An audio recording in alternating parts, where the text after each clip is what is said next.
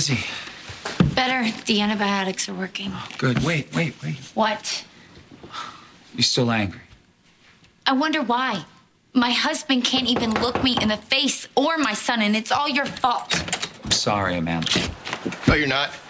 That's a discussion for later. Right now, we got bigger things to worry about. Hey, Dad.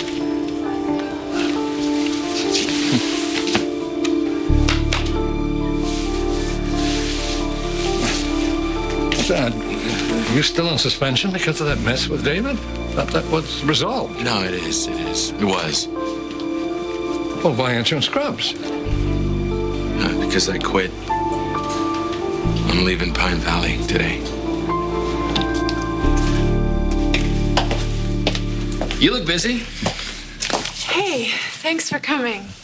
Well, your note intrigued me. What are you doing here? Well, I, I got a call from Liza early this morning, and I didn't want to wake you. Did she have you working on a case or something? Yeah.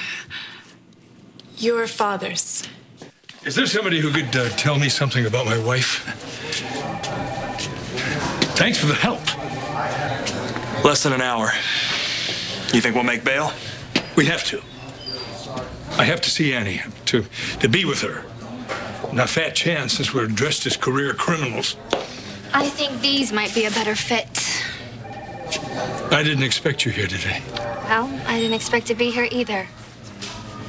But I uh, couldn't stay away. So I just spoke with Judge Whitman, and he's agreed to hold the arraignment here. Have you seen Adam? How is he? Uh, he's, he's doing fine, and uh, he'll have a much stronger case once you plead guilty. I know what I have to do. Good. Uh, you can't go in there right now. The patient's with her attorney. It's her attorney that I want to see. Uh, that's okay. Uh, I got it.